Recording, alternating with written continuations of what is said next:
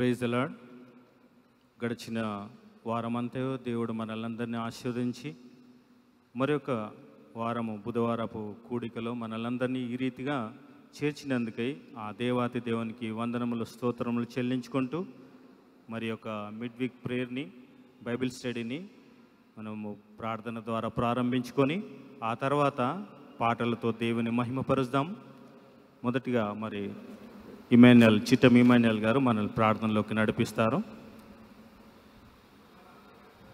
ప్రార్థన చేసుకుందాం. మహాపరిషుద్ధుడా మా ప్రియ పదలోక తండ్రి మీ ఘనమైన నామమునకు వందనాలు స్థుతి స్తోత్రాలు చెల్లిస్తున్నాం నా దేవా. తండ్రి గడిచిన వారం అంతయు ప్రభా. మమ్మల్ని కాచి కాపాడి ప్రభా.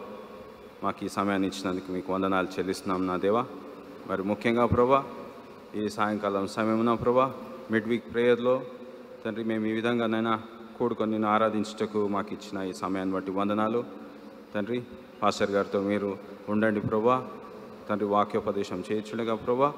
తండ్రి ఆన్లైన్లో వీక్షిస్తున్న ప్రతి ఒక్కరిని మీరు దాన్ని సిద్ధపాటు సిద్ధపరిచి వాక్యాన్ని ప్రభా వారు విని తండ్రి దాన్ని గ్రహించి ప్రభా దాని జీవితాలలో దాన్ని ఉపయోగకరంగా ఉండినట్లు మీరు దీవించమని తండ్రి ఈ కార్యక్రమం అంతటిలో మీరు తోడుగా ఉండమని ప్రభువును రక్షకుడైన యేసు క్రీస్తు పేట పెట్టుకొని ప్రార్థిస్తున్నాం తండ్రి.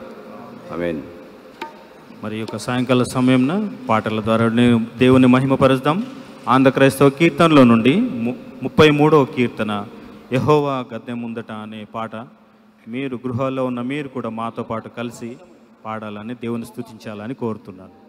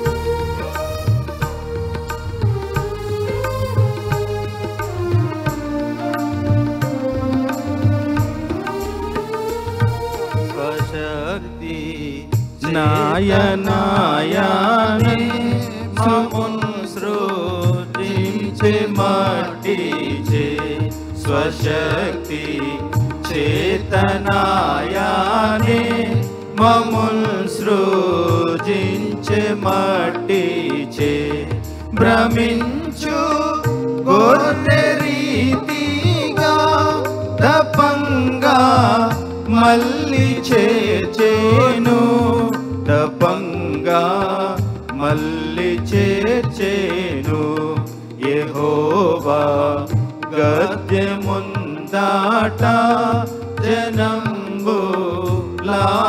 प्रोकुडि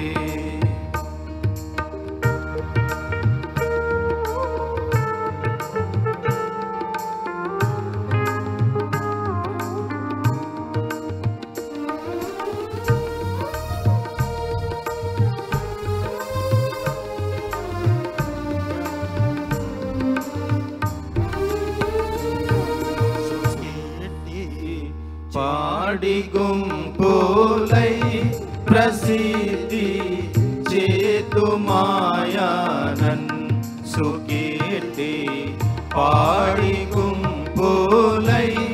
प्रसीति चेतु मायानन् जगतु मे नो स्तुतिञ्चु दिव्यमौद्वानिन् स्तुतिञ्चु ये हो वा गत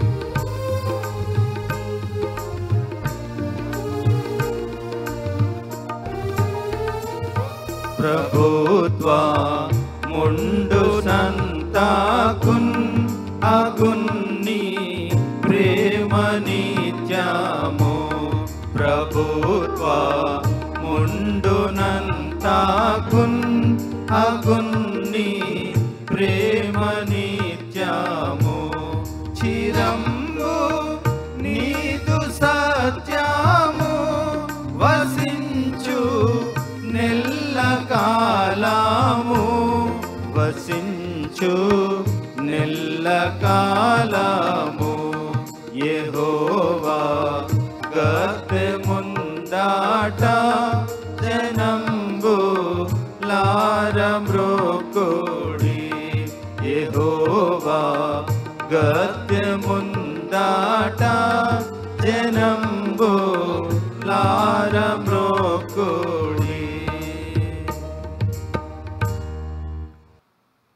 ప్రైజ్ లాడ్ దేవునికి స్తోత్రం. మన దేవుడు అత్యంత కృప కలిగినటువంటి దేవుడు. మహాశక్తి సంపన్నుడు. మనలను ఎన్నడూ ఎడబాయివాడు కాడు. మనలను ఆయన తన స్వకీయ జనముగా చేసుకొని తన సొత్తుగా ఏర్పరచుకొని తన రక్తము చేత మనలందరినీ కడిగి పవిత్రపరిచి పరలోక రాజ్యంలో మనం ఉండటానికి స్వాస్థ్యం ఏర్పరిచినటువంటి దేవుడు. అట్లాంటి భాగ్యాన్ని ధన్యతని మనకు అనుగ్రహించిన దేవునికి వందనాలు చెల్లించుకుంటూ నేనెందుకని నీ సొత్తుగా మారితిని అనే పాట పాడుతూ దేవునిని మహిమపరుద్దాం. నీ అనాది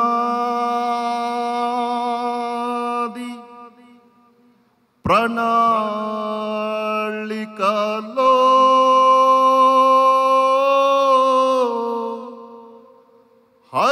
హర్షించెను నా హృదయ సీమా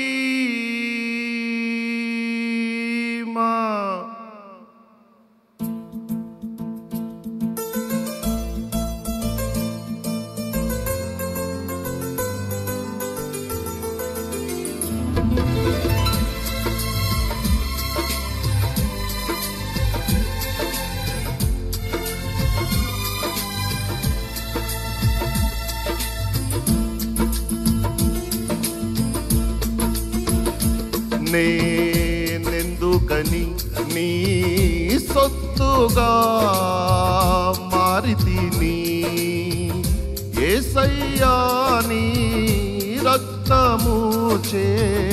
కడుగబడినందునా నేనెందుకని నీ సొత్తుగా మారితిని? ఏసయ్యా నీ రక్తము చే కడుగబడినందునా నీ అనాది ప్రణాళికలో హర్షించెను నా హృదయ సీమా. నీ అనాది ప్రణాళికలో హర్షించెను నా హృదయ సీమా.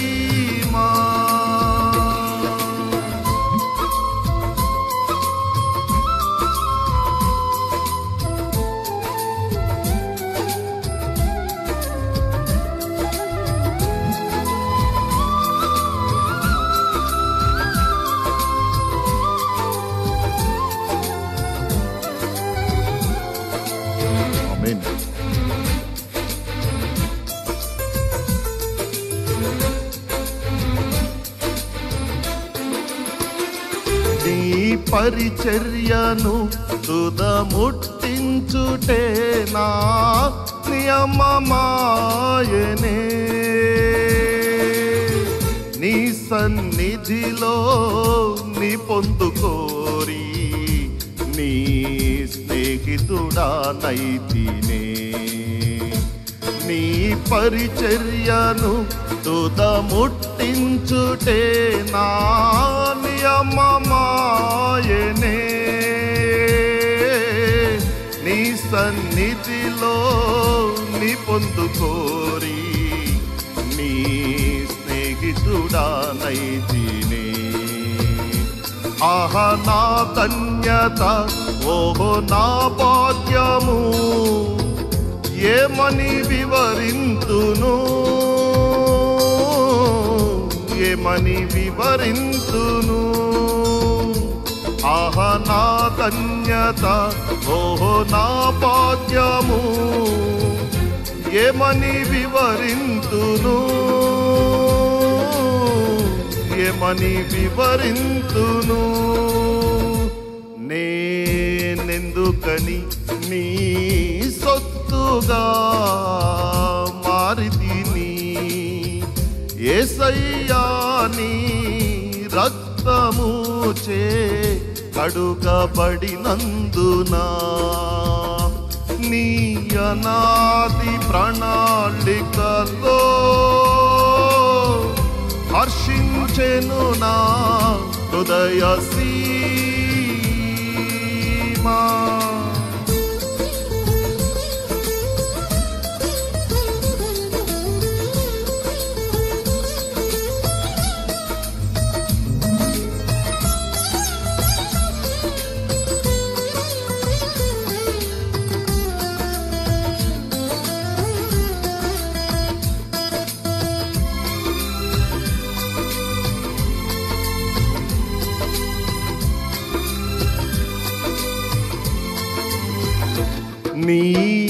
శ్రమలలో పాలొందుటయే నా దర్శనమాయనే. నాతను వందున శ్రమలు సహించి నీ వారసుడా నైతిని. నీ శ్రమలలో పాలొందుటయే నా దర్శనమాయనే. నీతను వందునా శ్రమలు సహించి నీ వారసుడా నైతినే. ఆహ నా ధన్యత ఓహో నా భాగ్యము ఏమని వివరింతును? ఏమని వివరింతును? ఆహ నా ధన్యత ఓహో నా భాగ్యము. ఏమని వివరింతును? ఏమని వివరింతును? నేనెందుకని నీ సొత్తుగా? సయ్యాని రక్తముచే కడుగబడినందున నీ అనాది ప్రణాళికలో హర్షించెను నా హృదయ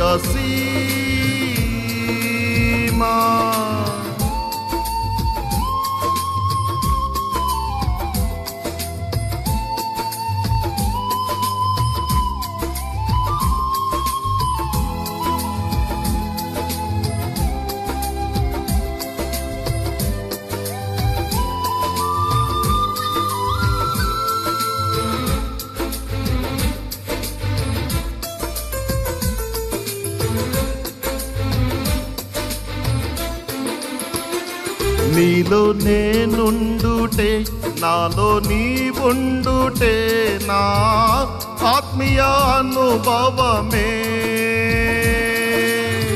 పరిశుద్ధాత్ముని అభిషేకముతో నే పరిపూర్ణత చెందేదా. నీలో నేనుండుటే నాలో నీవుండుటే నా ఆత్మీయ అనుభవమే. పరిశుద్ధాత్ముని అభిషేకముతో నే పరిపూర్ణత చెందేదా? ఆహ నా ధన్యత ఓహో నా భాగ్యము ఏమని వివరింతును? ఏమని వివరింతును? ఆహ నా ధన్యత ఓహో నా భాగ్యము ఏమని వివరింతును? ఏమని వివరింతును? నేనెందుకని నీ సొత్తుగా మారితిని? ఏసయ్యాని రక్తము చే కడుగా కడుగపడినందునా నేనెందుకని నీ సొత్తుగా మారితిని? ఎసయ్యాని రక్తము చే కడుగబడినందునా నీ అనాది ప్రణాళికలో హర్షించెను నా హృదయ సీమా. నీ అనాది ప్రణాళికలో హర్షించెను నా హృదయ సీమా.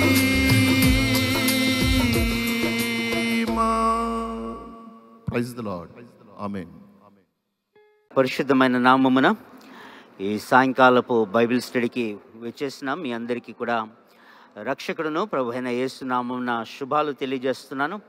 రండి మనమందరం కూడా తలలు ఉంచుదాం ప్రార్థన చేసుకొని దేవుని యొక్క వాక్య ధ్యానంలోనికి మనం వెళ్దామండి. తలలోంచుదాం పరిశుద్ధాత్ముడు మనకు సహాయం చేయలాగున తన వాక్యము యొక్క సత్యమును మనకు వెల్లడిపరచులాగున మనం ప్రభువును వేడుకుందాం. ప్రేమ కలిగిన మా పరలోకపు తండ్రి నీ నామమునకు స్తోత్రములు కృతజ్ఞతాస్థుతులను మేము చెల్లిస్తున్నాం.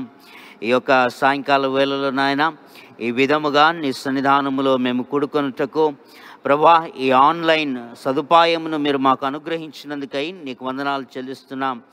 మేము ప్రతి బుధవారము ఈ విధముగా కూడుకొని వాక్య ధ్యానములో మేము ఉండునట్లుగా మీరు చేసిన మేలుకై మీకు స్తోత్రము. మాకు తోడై ఉండి నీ వాక్య ప్రత్యక్షతను కలగజేసి నడిపించమని. నీ కృపగల హస్తములకు మమ్మను మేము సమర్పించుకుంటూ సజీవుడును రక్షకుడైన యేసు పరిశుద్ధ పేరట అడిగి ప్రార్థిస్తున్నాము తండ్రి. Amen amen. దేవుని యొక్క వాక్యము మొదటి సమయలు గ్రంథము ఇరవై రెండవ అధ్యాయమును దయచేసి మీరు తెరిచి మీ ఎదుట ఉంచుకునవలసిందిగా మనవి చేస్తున్నాను. మొదటి సమయలు గ్రంథము ఇరవై రెండవ అధ్యాయమును దయచేసి మీరు తెరిచి ఉంచుకొనవలసిందిగా మనవి చేస్తున్నాను. పోయిన వారము సౌలు గారి యొక్క స్థితి లేకుంటే తన యొక్క దుష్టత్వములో ఆయన ఎంతగా మరి ముందుకు వెళ్ళిపోతున్నాడు లేకుంటే దుష్టత్వములో ఎంత స్థాయికి ఆయన వెళ్తున్నాడు అన్న మాటలను మనము పోయినసారి మనము చూసాము. దావీదును వెతుక్కుంటూ అతడు మరి వచ్చాడు. అతడికి మరి దోయేగు అన్న వ్యక్తి నోబులో అహిమేలకు అను యాజకుడు సహాయము చేశాడు అని తెలియజేసిన మాటలను మనం విన్నాము. ఆ తర్వాత అతడు అహిమేలకు యాజకుణ్ణి అలాగే తన తండ్రి వారందరినీ కూడా పిలిపించి విచారణ చేయగా అన్న మాటలను మనము చూసాం. మరొకసారి ఆ చివరి వారంలోని ఆ కొన్ని మాటలను మనం చదువుకొని వాటిని ఒక మాట ధ్యానం చేసుకొని మనం ముందుకెళ్దామండి. దయచేసి పదిహేనవ వచనం పదిహేనవ వచనం లేకుంటే పద్నాలుగవ వచనం నుండి మనం చూద్దామండి.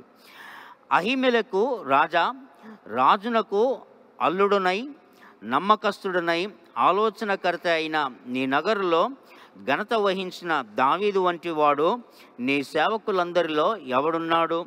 అతని పక్షముగా నేను దేవుని యొద్ద విచారణ చేయుట నేడే ఆరంభించి తినా అది నాకు దూరమగునుగాక రాజు తమ దాసుడనైన నా మీదను నా తండ్రి ఇంటి వారి మీదను ఈ నేరము మోపకుండునుగాక ఈ సంగతిని గూర్చి కొద్దిగా కొద్ది గొప్ప ఏమియు నీ దాసుడనైనా నాకు తెలిసినది కాదని రాజుతో మనవి చేయగా. పోయిన వారము కూడా మనము ఈ మాటలను చదువుకున్నాం. అహిమేలకు రా ఆ, యాజకుణ్ణి అలాగే తన తండ్రి ఇంటి వారందరినీ కూడా మరి సౌలు గారు పిలువనంపించి ఆయనను ప్రశ్నించడం. లేకుంటే ఇక్కడ ఉంటున్న మాటలలో అతని మీద ఒక నేరమును మోపుతున్నాడు అన్న మాటలను మనము చూస్తున్నాం. అతని మీద మోపబడుతున్న నేరం ఏమిటంటే నువ్వు దావీదుతో పాటు జతగట్టావు. దావీదుతో జతగట్టి అతడు నా మీదికి లేచుటకు నీవు అతనికి కారకుడవు లేకుండా అతనికి సహాయకరుడుగా ఉంటున్నావు అన్న మాటను మనం పోయిన వారం మాట్లాడుకున్నాం. ఈ వారంలో మరి అహిమెలకు జవాబిస్తున్న మాటలను మనం చదివాం. అహిమెలకు తనకి జవాబిస్తూ ఏమంటున్నంటే సౌలు గారు మీరు పొరబడుతున్నారు. దావీదు మరి మీకు అల్లుడును నమ్మకస్తుడును అలాగే నీకు ఆలోచనకర్తగా ఉంటున్నాడు. నీకుంటున్న నగరులలో ఇలాంటి వాడు మరి ఎవరు లేరు. లేకుంటే దావీదుకు సాటి అయిన వాడు లేడు. ఒక మాటలో పోయిన వారం కూడా జ్ఞాపకం చేశాను. అహిమెలకు దృష్టిలో దావీదు ఘనత వహించిన వాడిగా లేకుంటే ఘనుడిగా ఉన్నట్టుగా మనము చూస్తున్నాం. అయితే సౌలు గారి యొక్క దృష్టిలో దావీదు మాత్రము ఇంకా తన మీద కుట్ర చేసేవాడిగా తన మీద మరి పురికొల్పబడి తనను హతము చేసే ప్రయత్నాలు చేసేవాడిగా ఉన్నట్టుగానే సౌలు గారి ఆలోచన ఉన్నట్టుగా మనము చూస్తున్నాం. ఇది ఇలాగూ ఉండగా నేనేమైనా మరి విచారణ చేయడం మొదటిసారా అని చెప్తూ ఈ విషయం నాకేమీ తెలియదు. నాకు కొద్దే కానీ గొప్పే కానీ నాకు ఈ విషయం ఏమీ తెలియదు ఈ నింద మోపద్దు అని రాజుగారితో మనవి చేసినను. గమనించాల్సిన మాట ఏమిటంటే అతడు రాజు యొద్ద మనవి చేయగా రాజు దగ్గర విన్నవించుకుంటున్నాడు అహిమేలకు యాజకుడు. అతనికి ఉంటున్న విషయాన్ని చెప్పుకుంటున్నాడు. అయినా కానీ పదహారవ వచనంలో నుండి కిందికి మనము చూడగా రాజు అహిమేలకు నీకును నీ తండ్రి ఇంటి వారికి అందరికీ మరణము నిశ్చయమని చెప్పి రాజుగారు అప్పటికి కూడా కరుగుతలేడు రాజుగారు అహిమెలకి యొక్క మనవి విన్నా కానీ చెవిన పెట్టక అతడు మరి తన మీద మరణదండన శిక్షణను విధిస్తున్నాడు అన్న మాటను చూస్తున్నాం. పదిహేడవ వచనంలోని మాటను. యహోవా యాజకులు యాజకులకు వీరు దావీదుతో కలిసినందునను అతడు పారిపోయి పారిపోయిన సంగతి తెలిసి తెలిసి నాకు తెలియజేయక పోయి ఉన్నందునను మీరు వారి మీద పడి చంపుడని తన చుట్టూ నిలిచున్న వారి నిలిచున్న కావలి వారికి ఆజ్ఞ ఇచ్చెను. ఈ మాటను కొద్దిగా ఆలోచించేయండి. అహిమేలకు ఒక మంచి యాజకుడు దైవజనుడు. దైవజనుని మీద తిరగబడటము ఎంతవరకు దీవెనకరము అన్న ప్రశ్న ఒకవేళ ఉంటే ముందుంటున్న అధ్యాయములో మనకు ఇరవై మూడవ అధ్యాయములో మనము ఆ మాటలు చూస్తాం. ఇరవై మూడు కాదండి. ఇరవై నాలుగవ అధ్యాయంలో ఆ మాటలు చూస్తాం. ఒకసారి దేవుని చేత అభిషేకించబడితే ఒక వ్యక్తి ఆ వ్యక్తి మీద తిరగబడటము ఆ వ్యక్తి మీద కుట్ర చేయటము ఎంత మాత్రమును భావ్యము కాదు ఎంత మాత్రమును సరి అయినది కాదు అన్న విషయాన్ని మనం చూడబోతున్నాం. సౌలు దేవుని చేత అభిషేకించబడిన రాజు. అయితే సౌలు మీద తిరగబడడానికైనను కుట్ర చేయటానికైనను దావీది యొక్క మనసు నొచ్చుకున్నదే అన్న సంగతి ఇరవై నాలుగవ అధ్యాయంలో మనం చూడబోతున్నాం. అయితే నేను చెప్పొచ్చే విషయం ఏంటంటే చెడ్డవాడైన ఒక అభిషక్తుని గురించే దావీదు అంతగా ఆలోచన లేకుంటే అలాంటి అభిప్రాయము కలిగి ఉంటుండగా ఒక మంచి వాడును భయభక్తులు కలిగిన వాడును దేవుని మార్గములలో నడుస్తున్న యాజకుడైన అహిమెలకు విషయంలో తన తండ్రి ఇంటి విషయంలో సౌలు ఎంత జాగ్రత్తగా వ్యవహరించవలసిన వాడై ఉన్నాడో మనము ఆలోచించవలసిన విషయం. అయితే అదంతయు కూడా మానివేసి అతడు ఏమంటున్నాడంటే మీకు మరణము తథ్యము తప్పకుండా మీకు మరణదండాన విధించబడుతుంది నిశ్చయముగా. అంత మాత్రమే కాదు తన చుట్టూనున్న వారికి సౌలు మహారాజు ఆజ్ఞిస్తున్నాడు. మీరందరూ యాజకుడు అయిన అహిమేలకు తండ్రి ఇంటి వారి పైన పడి వారందరిని మీరు హతము చేయండి అని ఆజ్ఞ ఇవ్వగా. ఈ మాటలలో ఆ సౌలు గారి యొక్క ఆధ్యాత్మిక దౌర్భాగ్య స్థితి మనకు కనబడుతుంది. తాను తన యొక్క స్వార్థములో లేకుంటే తన శరీర విషయములలో పోతూ పోతూ అనగా రాజ్యము అధికారమును దక్కించుకొనుటకు అతడు ఎంత ఘోరమైన పరిస్థితులకు పోతున్నాడో చూడండి. ఈ యొక్క మనస్తత్వము ఇక్కడ మనం చూస్తున్న మనస్తత్వం ఇంచుమించు సాతాను మనస్తత్వమును ప్రతిబింబింపజేస్తుంది. సాతానుకు తన సింహాసనము దక్కలేదని దేవుడు సాతానును నిత్య నరకాగ్నికి అప్పజెప్పబోతున్నాడు శిక్షించబోతున్నాడు అన్న సంగతి తెలిసిన నాటి నుండి అతడు మానవుల మీద పడటము మానవులను హింసించటము మరి చూస్తున్నాం. ఒకవేళ ప్రకటన గ్రంథము పన్నెండవ అధ్యాయములో మనము చూసినప్పుడు అక్కడ రాయబడుతున్న మాట ఏమిటంటే ఒక స్త్రీ ఉంది ఆ స్త్రీ ఒక కుమారుని తీసుకురాగా ఆ కుమారుడు దేవుని యొక్క సింహాసనమునకు కొనిపోబడ్డాడు. సాతాను యొక్క గురి అంతా ఆ కుమారుణ్ణి నాశనము చేయటం ఆ కుమారుణ్ణి మింగివేయటం. అయితే అది సాధ్యపడలేదు అది కుదరలేదు అన్న విషయాన్ని చూడగా ఆ మంటలో ఆ యొక్క ఉద్రేకములో ఆ రౌద్రము కోపములో అతడు చేసేదే తప్పుడు పని. అయినా కానీ అది సఫలము కాలేదని కోపం. ఆ కోపములో అతడు ఆ స్త్రీని హింసించ వెళ్ళను అన్న మాటను మనము చూస్తున్నాం. సాతానుడు మరి తనను సమర్థించుకోవడానికి తనను రక్షించుకోవడానికి ఇతరులను చంపే స్థాయికి వెళ్ళేవాడిగా ఉంటున్నాడు. బాగా గమనించండి ఈ మాటను. సాతానుడు తనను తాను సంరక్షించుకొని లేకపోతే తన సింహాసనమును కాపాడుకొనుటకు ఒక నిరపరాధిని చంపుటకైనను బయలు వెళ్ళేవాడిగా ఉంటున్నాడు. అలాంటి క్యారెక్టర్ ఇక్కడ సా సౌలులో మనకు కనబడుతుంది.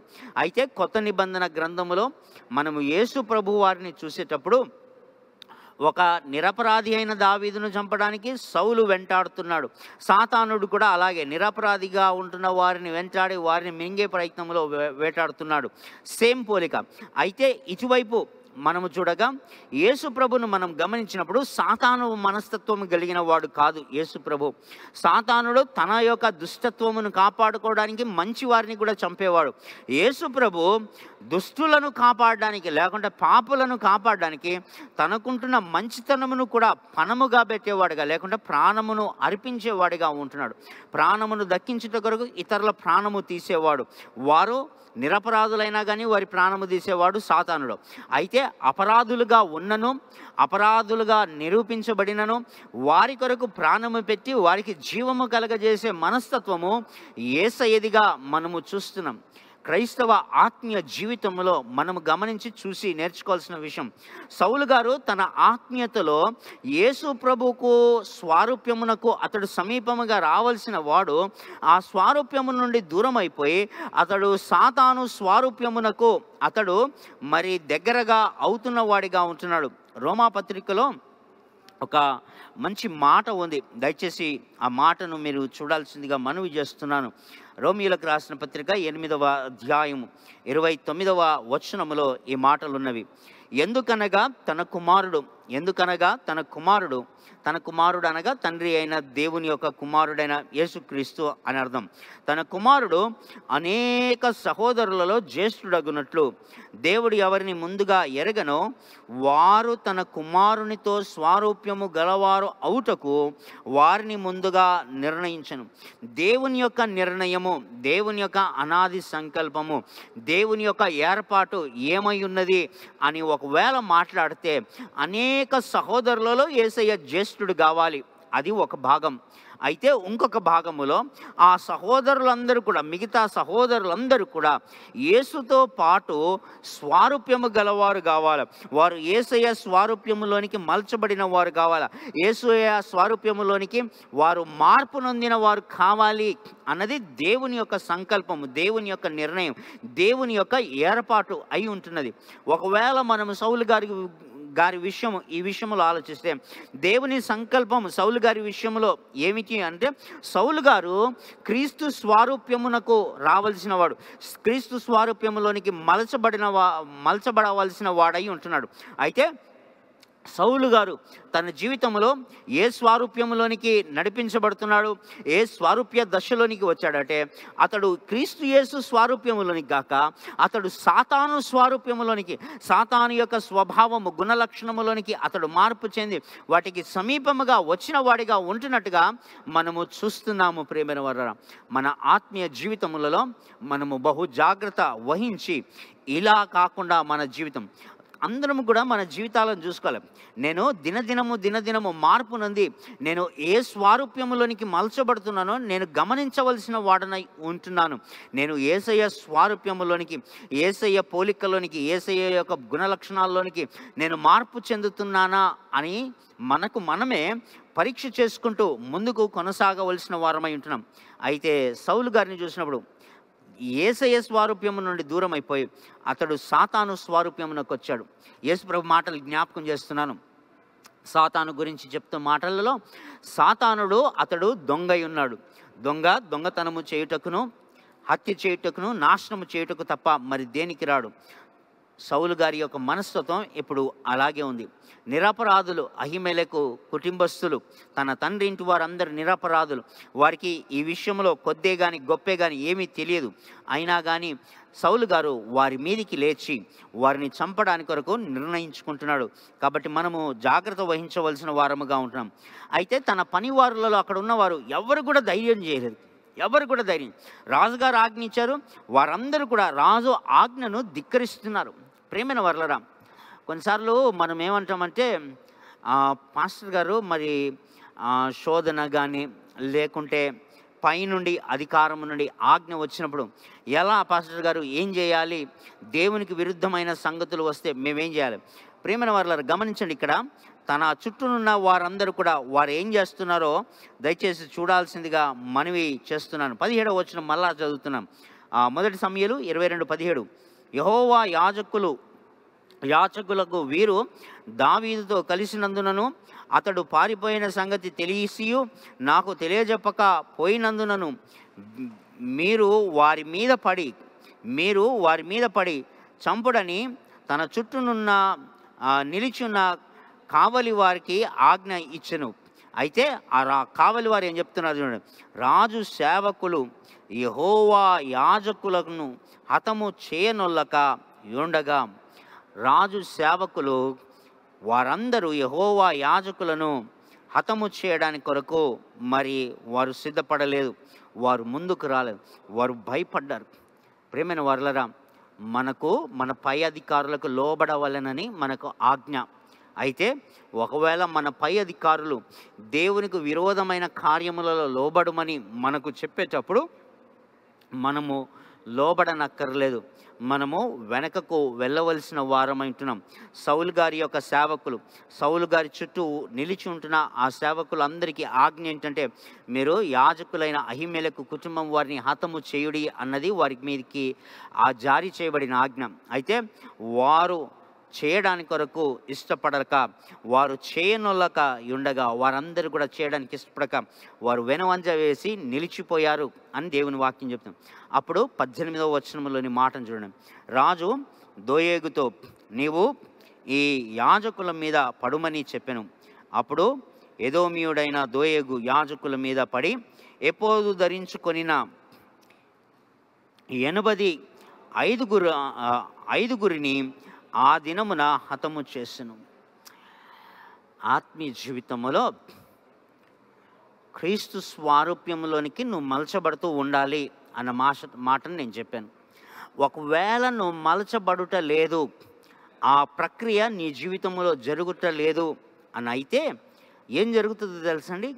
నీవు ఏదో మీయుడైన దోయేగుతో ఎలాగైతే సౌలు గారు జత కట్టాడో అతనిని అతని మీద ఆధారపడి అతని మీద ఆశ్రయము తీసుకొని అతని చేత జత కట్టి యహోవా యాజకులైన అహిమేలకు తన తండ్రి కుటుంబస్తులను ఎలా చంపారో అలా దేవుని యొక్క కార్యములకు దేవుని యొక్క సేవకులకు దేవుని యొక్క పనులకు విరోధముగా వెళ్ళడానికి కొరకు నువ్వేం చేస్తావో తెలుసా?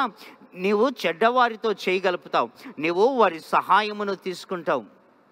ప్రేమైన వర్లరా నువ్వు గెలవడానికి కొరకు చెడ్డవారి సహాయము తీసుకొని మంచి వారికి నష్టం కలగచేయటం అది ఎంత మాత్రము సబబు కాదు.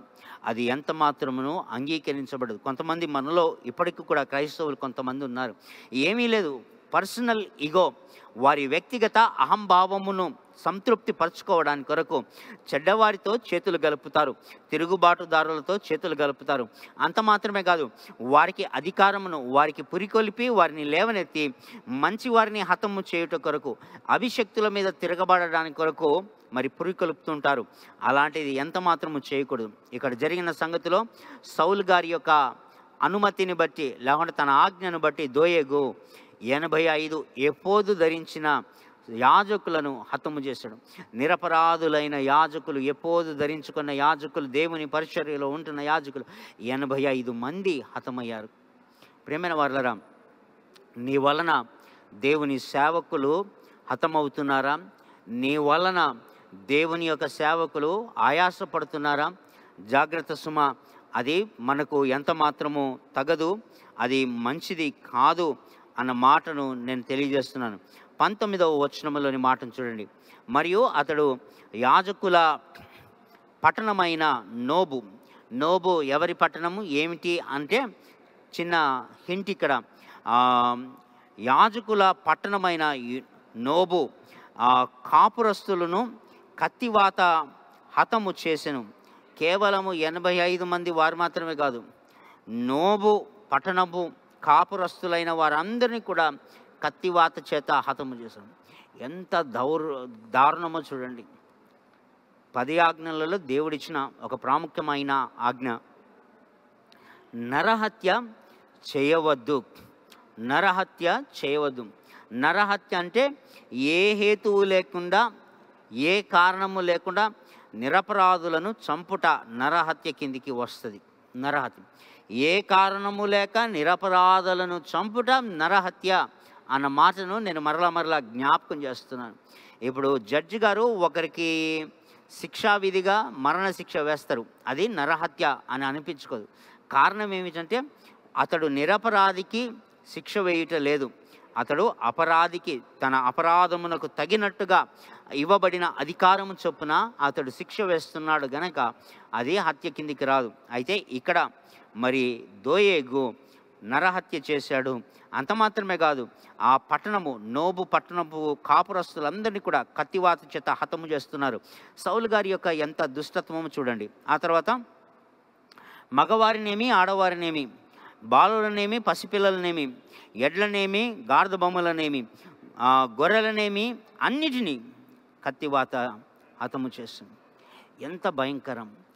ఒక కానాను దేశపు జనాంగములలో ఎవరినైనా కానీ వారి పట్టణములను హతము చేసేటప్పుడు ఇలా హతము చేయమని ఒక శపింపబడిన వారిని హతము చేయము అని చెప్పిన వారు ఆ మాట ఆ సూత్రాన్ని ఇక్కడ మరి అహిమేలకు కుటుంబస్తులకు లేకుంటే నోబు పట్టణస్థులకు వారు మరి ఆపాదించి జరిగించారు అన్న మాటను మనం చూస్తున్నాం.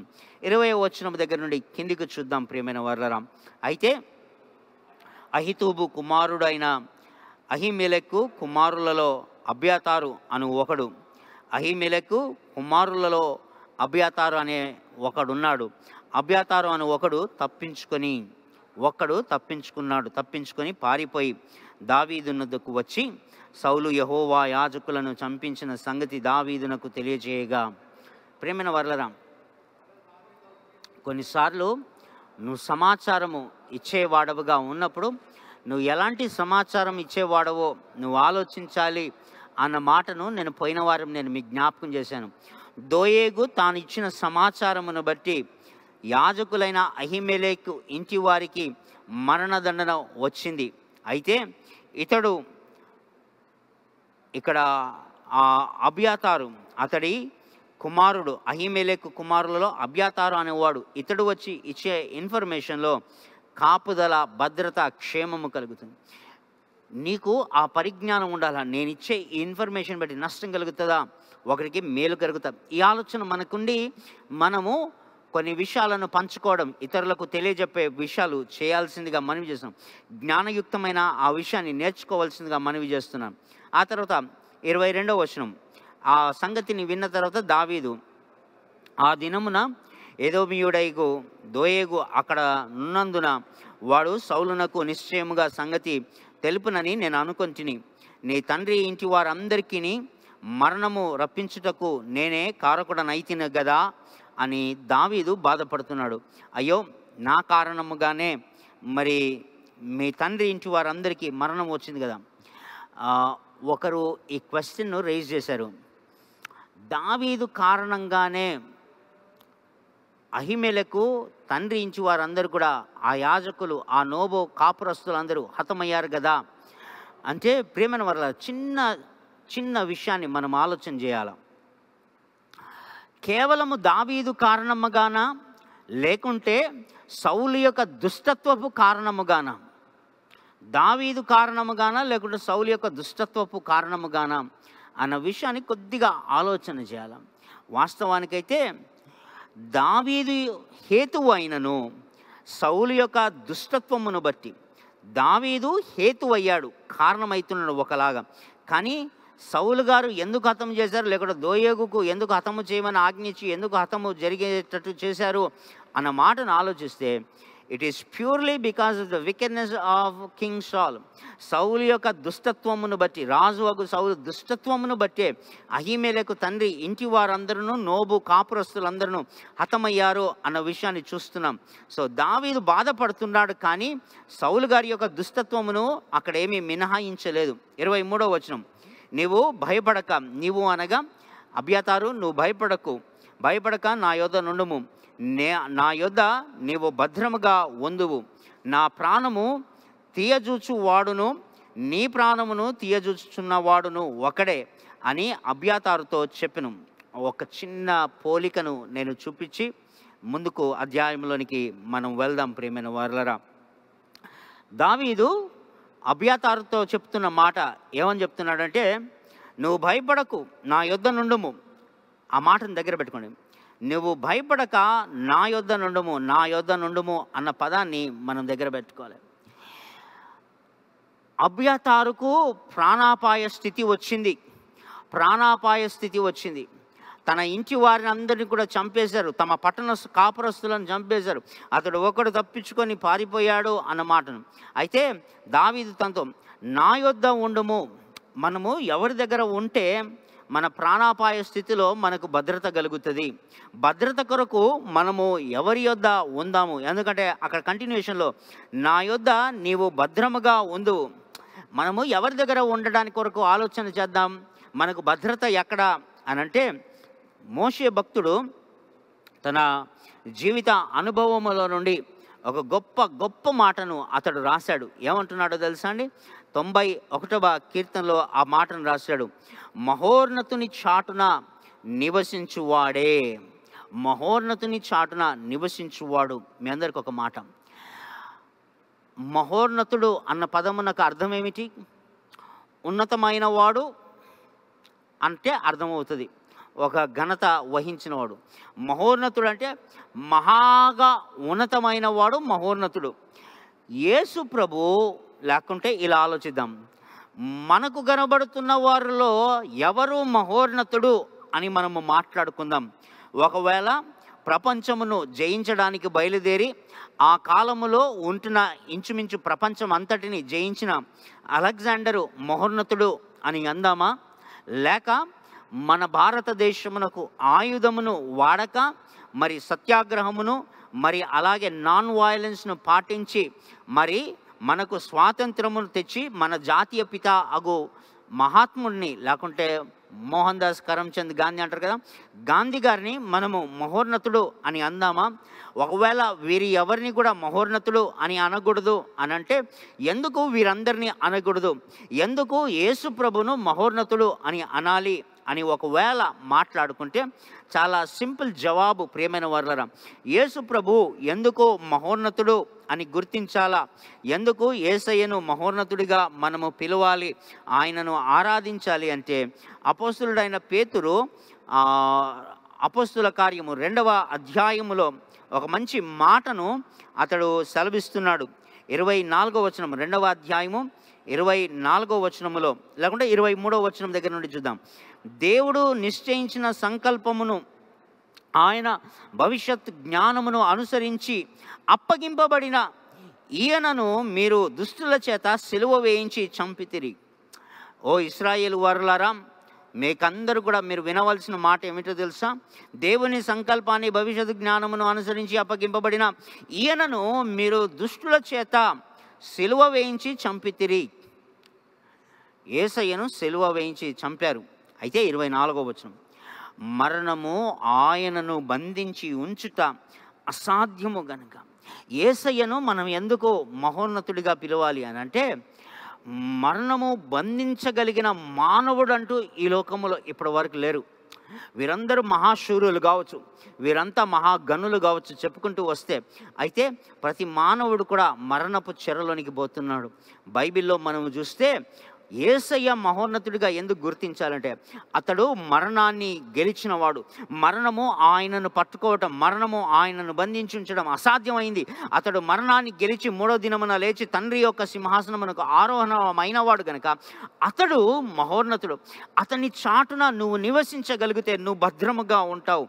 అభ్యాతారుతో దావిదేమంటున్నాడంటే నా దగ్గర ఉండు నా యొద్ద నుండుము నువ్వు భద్రంగా ఉంటావు. మనము ఎవరి దగ్గర ఉంటే బాగుంటుంది అని అంటే దావీదు దగ్గర దావీదు లాంటి పోలినవాడు యేసయ్య దావీదులాగా పోలినవాడు యేసయ్య ఎలాగైతే దుష్టుల చేత తరమబడుతున్న వాడిగా దావీదు ఉన్నాడు దుష్టుల చేత సిలువ వేయబడిన ఏసయ్య ఉన్నాడు. ఆ పోలికలో దావీదు దగ్గరకు వచ్చి భద్రముగా ఉంటున్నట్టుగా అభ్యతారు మనము కూడా మన ప్రాణాపాయ స్థితిలో మనము ఏసయ్య దగ్గరకు వచ్చి మనము దాగుకొనినప్పుడు మనము ఆయన నీడన మనం ఉన్నప్పుడు ఆయన చాటున నివసించడం మొదలుపెట్టినప్పుడు మనము భద్రముగా ఉందము. కారణము? నా ప్రాణము తీయ చూచు చూచువాడును నీ ప్రాణము తీయ చూచువాడును ఒక్కడే. యేసు ప్రభును నశింపజేద్దామని వెతికిన వాడును సంఘమును నశింపజేద్దామని వెతుకుతున్న వాడును ఇద్దరు ఒక్కడే. సాతానుడు అలనాడు ఏసయ్యను సంహరించుదాం సా ఏసయ్యను నశింపజేద్దామని వెతికాడు. ఏసయ్య అయితే దేవుని యొక్క సింహాసనమునకు కొనిపోబడ్డాడు అన్న మాటలను మనము ప్రకటన గ్రంథం పన్నెండవ అధ్యాయంలో చూస్తున్నాం. అలాగే ఇక్కడ సంఘమును నాశనము చేయాలని వెతుకుచున్నవాడు కూడా అపవాది అగు సాతనుడే. ఇద్దరు ఒకరే అని అభ్యాతారుతో చెప్పి నా దగ్గర ఉండు. ఏసయ్యను హతము చేయడానికి కొరకు వెతికిన వాడు సాతానుడు. అదే సాతానుడు నేటి దినమందు సంఘమును విశ్వాసులను విశ్వాస కుటుంబాలను హతము చేయాలన్న ప్రయత్నములో ఉన్నారు. అయితే అలాంటి సాతాను నుండి అతని అలాంటి దుష్టత్వపు కుట్రల నుండి నీకు నాకు భద్రత ఎక్కడ అంటే అభ్యాతారికి ఎలాగైతే దావీదు దగ్గర కలిగిందో అలాగూ విశ్వాసులమైన మనకు యేసు దగ్గర కలగొస్తుంది అన్న మాటలను మనం జ్ఞాపకం చేసుకుందాం. దయచేసి ఇరవై మూడవ అధ్యాయములోనికి వెళ్దామండి. కొన్ని ప్రారంభ మాటల్లోని కొన్ని విషయాలను మనము ధ్యానం చేసుకొని ఈ రోజుకు ఇక్కడికి ఆపుదాం. తర్వాత ఫిలిస్తీయులు కెయిలా మీద యుద్ధము చేసి కళ్ళము మీది ధాన్యమును దోచుకొనుచున్నారని దావీదుకు వినబడెను. కెయిలా అన్న ప్రాంతము యూదా ప్రాంతము. ఆ ప్రాంతములో ఉంచిన జనులందరూ కూడా బహుశా పంట కోత కాలము కావచ్చు వారందరూ కూడా కళ్ళము కళ్ళము అనగా ఎక్కడైతే కోతలు కోసి ధాన్యాన్ని సమకూర్చి దాచుకొని ఉంటారు వడ్ల గింజలు అనుకోండి ఉదాహరణకు ఆ వడ్లు ఆ- వరి అంతటిని కోసి ఆ వడ్ల గింజలన్నింటినీ దులిపి ఆ వడ్ల గింజలన్నింటినీ కూడా తూర్పాడు పట్టి ఆ తర్వాత ఆ యొక్క వడ్ల గింజలు అంతే శుద్ధి చేయబడిన అంటే పొట్టు అంతా ఎగిరిపోయిన ఆ వడ్ల గింజను అక్కడ కుప్పపోస్తారు కుప్పపోసిన ఆ స్థలమును దాన్ని ఏమంటారంటే కళ్ళము. ఎక్కడైతే వరి కోయబడి అది దులుపబడి వడ్ల గింజలు తీసుకొని తూర్పాడు పట్టి వాటిని ధాన్యముగా సమకు ఈ ఈ పద్ధతి అంతా ఎక్కడైతే ఏ స్థలములో అయితే జరుగుతో దాన్ని కళ్ళెము అంటారు. సాధారణంగా ఎక్కడైతే పంట పండిస్తారో అక్కడే కొంత ప్రాంతాన్ని శుభ్రం చేసి అక్కడే ఈ ప్రాంతం ఈ పనంతా జరిగిస్తారు. అయితే ఫిలిస్టియులు కెయిలా మీద పడ్డారు. ఆ ప్రాంతం మీద లేకుంటే ఆ పట్టణము ఆ యొక్క గ్రామం మీద పడ్డారు. దాని మీద యుద్ధము చేశారు. ఆ కాలంలో సాధారణంగా యుద్ధము చేసేటప్పుడు ఏం చేస్తారంటే హతము చేయడము ఇవన్నీ మాత్రమే కాకుండా అక్కడ దోపుడు సొమ్ముగా దొరికితే ఏదైనా కానీ తీసుకుపోతారు. కొన్నిసార్లు వస్త్రాలు తీసుకుపోతారు కొన్నిసార్లు ఆభరణాలు తీసుకుపోతారు. ఇక్కడ మనం చదువుకుంటున్న వాక్యంలో వారు కళ్ళము మీది ధాన్యమును కళ్ళములో వారు దాచుకొని ధాన్యమును సిద్ధము చేసుకునిగా ఆ ధాన్యమును దోచుకున్నారన్న సంగతి దావీదునకు వినబడిన వినబడెను. రెండవ వచనం. అంతటా దావీదు నేను వెళ్ళి ఈ ఫిలిస్తీయులను హతము చేయుదునా అని యహోవా యొద్ద విచారణ చేయగా యహోవా నీవు వెళ్ళి ఫిలిస్తీయులను హతము చేసి కెయిలాను రక్షించుమని దావీదునకు సెలవిచ్చను. ఒక్క పాయింట్ నేను చెప్పి ముగిస్తాను ప్రియమైన వాళ్ళ ఇలాంటి మాటలను విన్నప్పుడు క్రైస్తవులు కొన్నిసార్లు అందులో పాస్టర్స్ కూడా ఉన్నారు. కొంతమంది దావీదు గారి యొక్క ప్రార్థనలను కొన్ని విని కీర్తనల గ్రంథములో నేను యహోవా యొద్ద విచారణ చేయగా ఆయన నాకు ఉత్తరం ఇచ్చెను అన్న మాటలను మనము దేవుని చిత్తాన్ని కనుక్కోవాలా? దేవుని యొక్క చిత్తాన్ని మనము తెలుసుకోవాలా? ఆ తర్వాత ముందుకు అడిగేయాలా? అన్న మాటలు మాట్లాడుతూ వస్తూ ఉన్నారు. అవి మంచివి అవి సత్యమైనవి. అయితే అన్ని విషయాలలో అలాగున చేయదగునా అని ఒకవేళ ప్రశ్నను లేవనెత్తితే అన్ని విషయాలలో అలాగూ చేయదగదు. కారణం ఏమిటంటే దేవుడు కొన్ని విషయాలను స్పష్టంగా తెలియజేస్తాడు. కొన్ని విషయాలు మనకు అప్పగించారు. వాటి విషయములలో మనము చేయాల్సిన ధర్మమును చేస్తూ వెళ్ళిపోవాలి. ఇక్కడ ఒకవేళ మీరు నన్ను అడగొచ్చు. పాస్టర్ గారు మరి దావీదు ఇక్కడ యహోవా యొద్ద విచారణ చేస్తున్నాడు కదా. దావీదు ఎందుకు విచారణ చేస్తున్నాడు? ఎందుకు దేవుని అనుమతిని అడుగుతున్నాడు అని మనం ఒకవేళ అడిగితే ఒక చాలా ప్రాముఖ్యమైన కారణాన్ని మీకు తెలియజేస్తున్నాను. మొదటి వచనాన్ని మీరు గమనించారా? ఫిలిస్టియులు కెయిలా మీద యుద్ధము చేసి కళ్ళము మీద ధాన్యమును దోచుకొనిరని దావీదునకు వినబడినప్పుడు. అవును పారిపోతూ గుహలలో ఆయా ప్రాంతాలలో బ్రతుకుతున్న దావీదు గారి దగ్గరికే ఒక పట్టణము యొక్క సమాచారము. ఆ పట్టణం మీద యుద్ధము జరిగింది. ఆ పట్టణం మీద ఫిలిస్తీయులు పడ్డారు. ఆ పట్టణము మీదకి మరి ఫిలిస్తీయులు వచ్చి ధాన్యమును దోచుకొని పోయారు అని మా వర్తమానము వినబడినప్పుడు ఆ వర్తమానము సౌలు మహారాజు గారికి వినబడి ఉండదా? తప్పకుండా వినబడి ఉంటుంది. తప్పకుండా వినబడి ఉంటుంది. అయితే ఒక పట్టణమును సంరక్షించే బాధ్యత ఎవరిది? ఉదాహరణకు ఇప్పుడు అప్పుడప్పుడు న్యూస్లలో మనం వింటాం ఒక దగ్గర ఏదైనా పేలుడు ఏదైనా కంపెనీ లాంటిది కావచ్చు అక్కడ ఏదైనా జరిగిన లేకుంటే ఎక్కడైనా డ్యామ్ కూలిపోవడం ఎక్కడైనా రోడ్డు జరిగిపోవడం ఇలాంటి అంటే కూలిపోవడం వరదకు కొట్టుకుపోవడం ఇలాంటి జరిగినప్పుడు బాధ్యత ఎవరిది? అని ఒకవేళ అడిగితే న్యూస్లలో మనం చూస్తుంటాం ప్రభుత్వం మీద నేరారోపణ చేస్తున్న ప్రభుత్వం వారు పట్టించుకు బాధ్యత ఎవరిది అంటే ప్రభుత్వం వారిది. ఇప్పుడు కేయిల పట్టణం మీదకి యుద్ధము ఫిలిస్తీన్లు చేసి అక్కడ ఉంటున్న ధాన్యమును దోచుకొని పోయినప్పుడు బాధ్యత ఎవరిది? అసలు సౌలు గారి యొక్క బాధ్యత ఏమిటి? అతడు ఇస్రాయేలు జనాంగమును ఇస్రాయేలు ప్రజలను ఇస్రాయేలు దేశంను అతడు సంరక్షించవలసిన బాధ్యత అతనిది. ఎందుకంటే అతడు అభిషేకించబడిన రాజుగా ఉంటున్నాడు గనక బాధ్యత అతనిది. అతడు తన ధర్మమును విడిచిపెట్టి అతడు తన ధర్మమును విడిచిపెట్టి తన బాధ్యతను విడిచిపెట్టి అతడు దావీదు వెంటబడుతున్నాడు. అతడు దావీదు వెంటబడుతున్నాడు. దావీదును హతము చేయాలి అని అనుకుంటున్నాడు. దావీదు ఇక్కడ ఎందుకు యహోబా యుద్ధ విచారణ చేశాడో తెలుసా? ఎందుకంటే he is not the authorised person అతడు నియమింపబడిన అతడు అధికారము నొందిన వాడు కాదు. ప్రేమైన వారు బాగా గుర్తుపెట్టుకోండి. నీవు దానికి నియమింపబడిన వాడవు కాకుంటే నీవు దానికి నిర్ణయించబడిన వాడవు కాకపోతే ఆ పనుల విషయంలో నువ్వు కలగజేసుకోవటం మంచిది కాదు. నువ్వు పక్కకు ఉండటమే రైట్. దావీద్ గారు పక్కకు ఉండటమే రైట్. ఇప్పుడు పక్కకుండిపోయాము. అయితే ఇప్పుడు ఇంకొక మాట. అవును ఎవరైతే బాధ్యత వహించాలో ఇప్పుడు ఆ సౌలు గారేమో ఆ బాధ్యతను మర్చిపోయాడు. దేవుని స్వారూప్యంలోనికి మలచబడాలి దేవుని చిత్తాన్ని గ్రహించి ప్రవర్తించాలి. అది మర్చిపెట్టి మర్చిపోయి పక్కకు పెట్టేసి దావీదు వెంటబడుతున్నాడు దేవుని యొక్క చిత్తానికి విరుద్ధంగా ప్రవర్తించడం మొదలు పెడుతున్నాడు. అయితే దావీదు తన కనికరములో నుండి ఇప్పుడు మరి ఏదైనా చేయాలి అని అనుకుంటున్నాడు. అందుకు దావీదు దేవుని యొద్ద విచారణ అవును ఎవరైతే అధికారంలో ఉన్నారో ఎవరి బాధ్యత అయితే ఉన్నదో వారు నియమింపబడిన వారు. దేవుడు సౌలును నియమించాడు. ఇతడు తన ధర్మాన్ని నిర్వర్తించాలి. ఇప్పుడు ఇతడు ధర్మాన్ని నిర్వర్తించకపోతే ఇప్పుడు ఏం చేస్తాం? ఒక ఆఫీస్లోకి వెళ్ళాం. ఒక ఉద్యోగి ప్రభుత్వ ఉద్యోగిని మనం సహాయం అడిగాం. ఆయన మనను పట్టించుకుంటలేడు. అప్పుడు ఏం చేద్దాం మనము? మనం ఏం చేస్తాము? ఆ పైన ఉంటున్న అధికారికి మనము ఫిర్యాది చేస్తాం. మనము మనవి పెట్టుకుంటాం. అతడు చెప్పాలి ఆ పైన ఉన్న అధికారి ఏం చేయాలో. పైనున్న అధికారి మనకు ఒకవేళ అనుమతిస్తే అప్పుడు రైట్ మనము చేయదగింది మనం ఏదంటే అది చేయడానికి వీల్లేదు. ఎందుకంటే ఒక అధికార సిస్టమును దేవుడే స్వయంగా నియమించాడు కాబట్టి అలా కుదరదు.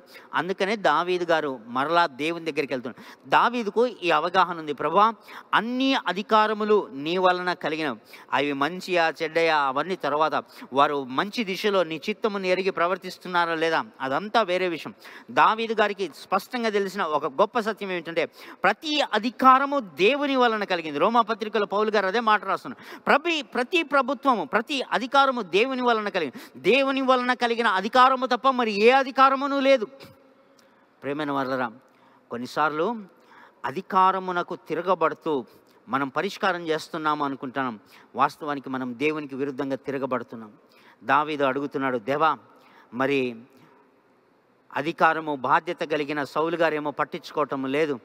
కేయిలా ప్రజలేమో శ్రమలో ఉన్నారు. ఫిలిస్తీన్లు వచ్చి దోచుకొని పోయారు. అయా నీవు సౌలు గారి మీద అధికారివి. సౌలు గారిని నియమించిన పెద్దవు నీవు నాయన. ఆ పైన ఉన్న అధికారము నీది నాయన. నీ దగ్గరకు వచ్చి నేను మనవి చేస్తున్నాను. నీ సెలవేంటి? నిశ్చితమని. ప్రేమన వర్లరా that's how you should function I should function I should function నీ ఇంట్లో మీ భర్త సరిగ్గా నీ మాట వింటలేడా? నీవు భర్త మీద అధికారం చెలాయించడానికి లేవు. ఏమి చేయాలి ఎలా చేయాలి అన్న సంగతి ఎలా తెలుస్తుందో తెలుసా? నువ్వు దేవుని దగ్గరికి వెళ్ళి ప్రభా మా భర్త మరి ఇలా ఉన్నాడు. నా భర్త ఇలా చేస్తున్నాడు. మరి నేనేం చేయాలి? నేనేమో ఆయనకు లోబడాలి. నేను ఆయన కింద ఉండాల్సిన వ్యక్తిని అని నువ్వు వాక్యంలో చెప్తున్నావు. భర్త నాకు శిరస్సు అని చెప్తున్నావు. ఆయన నేను దాటిపోలేను. ఆ అధికారాన్ని నేను దురు తృణీకరించలేను. ఆ, హేళన మాటలు పలకలేను. దూషించలేను. మరి నేనేం చేయగలుగుతానంటే నేను ప్రార్థన చేయగలుగుతాను. అందుకే నీ యొద్దకు వచ్చి విచాను భార్యలరా నేను మీకు చెప్తున్న మాట అది. ఒకవేళ ఆఫీసులలో పనిచేస్తున్నారా మీరు? మీ పైనున్న అధికారులు మిమ్మల్ని విసిగిస్తున్నారా? ఏం చేయాలో మీకు దోచటం లేదా? వారి మీద తిరగబడదాము వారి మీద ఇలా కఠినంగా ప్రవర్తిద్దామని ఇలాంటివి ఏమైనా పెట్టుకుంటున్నారా? అంతా తప్పుడు ఆలోచన. వాటిని పక్కకి పెట్టండి. దేవుని యొద్ద విచారణ చేసి దేవుని యొద్ద ప్రార్థన. ప్రభా మా అధికారి ఇలా ఉన్నాడు. మరి ఈ సమస్యలో నేను ఎలా ప్రవర్తించవలసిన వాడనై ఉంటున్నాను? అని దేవుని దగ్గర విచారణ చేయాలా? బైబిల్లో మనకి ఇవ్వబడుతున్న జవాబు ఏంటో తెలుసా? ముష్కరులైన మీ యజమానులకు సహితం మీరు లోబడండి మీరు లోబడండి. వారు అలా ఉన్నారో? ఆయన లోబడండి వారికి. అప్పుడు మీరు దీవించబడతారు. దావీదు దేవుణ్ణి అడిగాడు. ఎందుకంటే అతడు అధికారి కాదు కనుక పైనున్న అధికారమైన దేవుని దగ్గర అడుగుతున్నాడు ఎలాగో సౌలు పట్టించుకుంటలేడు.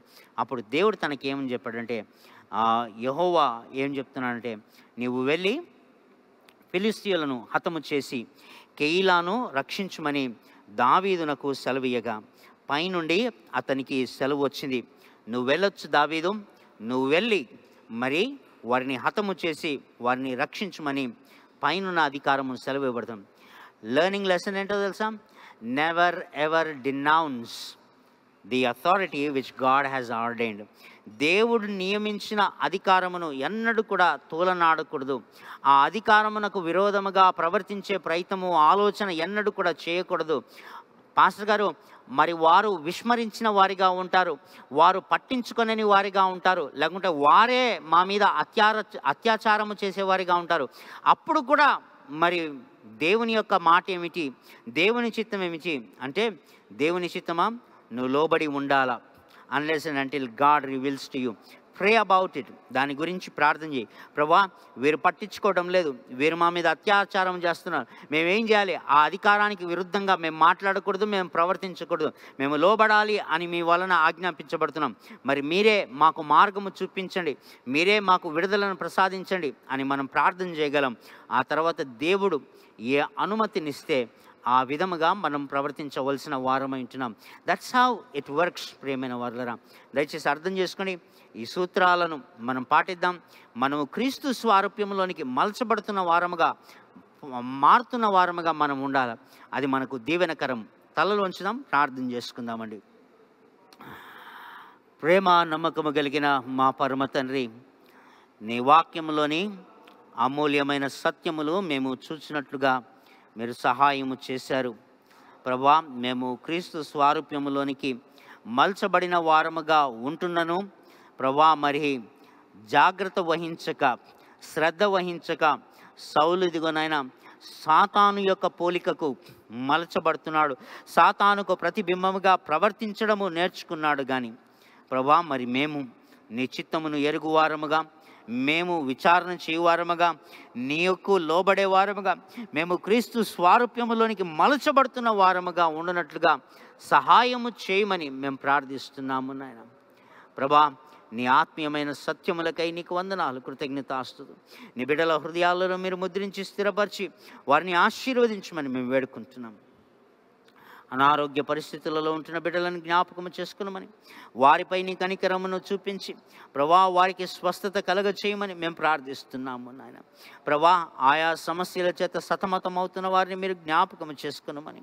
ప్రభా మీరు వారిని దర్శించి వారు నీ విచారణ చేయువారిగా వారు ప్రార్థనాపూర్వకముగా నీ ఆలోచనను కనిపెట్టువారిగా ఉండుటకై మీరు సహాయము చేయండి. మీరు వారితో మాట్లాడి ప్రభా వారికి మీ యొక్క మా నడిపింపు మీ మార్గమును తెలియచేయమని మేము ప్రార్థిస్తున్నాం. ప్రభా మాకు తోడై ఉండండి నాయన. మేము దావీదు వంటి వారమై ప్రభా జనుల కష్టాలను చూసి చెల్లించి నీ యొద్ద విజ్ఞాపన చేయువారము నీ యొద్ద విచారణ చేయువారమై ప్రభా జనులకు మేలు చేయువారముగా ఉండటకు ప్రవర్తించుటకు మాకు సహాయము చేయమని మేము ప్రార్థిస్తున్నాం. బైబిల్ స్టడీలో పాల్గొన్న ప్రతి బిడ్డను మీరు ఆశీర్వదించండి. ఆన్లైన్ ద్వారా వీక్షించచ్చు ఇదిగోనైనా పాల్గొనిచిన ప్రతి బిడ్డను మీరు ఆశీర్వదించమని మేము ప్రార్థిస్తున్నాం. ఇంకా నీ వాక్యపు సత్యములో ఎదుగుతూ నీ సత్యం వలన మేము జ్ఞానవంతులమై వర్ధిల్లుతున్నాయన నీ రాజ్యమునకు నీ మహిమకు పాత్రులుగా ఉండనట్లుగా చేయమని నీ కృపగల హస్తములకు మమ్మల్ని మేము సమర్పించుకుంటూ సజీవుడును రక్షకుడైన యేసు పరిశుద్ధ పేరట అడిగి ప్రార్థిస్తున్నాము తండ్రి. ఆమెన్. పరమ తండ్రి అయిన దేవుని యొక్క ప్రేమయు రక్షకుడును ప్రభైన యేసుక్రీస్తు వారి యొక్క దివ్యమైన కృప పరిశుద్ధాత్మ దేవుని యొక్క సన్నిధి ఆయన సమాధానకరమైన నడిపింపు చేరి వచ్చిన మనందరికీ మన కుటుంబాలకు ఎప్పుడు ఎల్లప్పుడు తోడయుండును గాక. Amen amen. అందరికీ వందనాలండి. దేవుడు మీ అందరినీ ఆశీర్వదించును గాక. మిమ్మను మీ కుటుంబాలను విశ్వాసంలో స్థిరపరిచి దేవుడు కొనసాగించును గాక. ఆమెన్.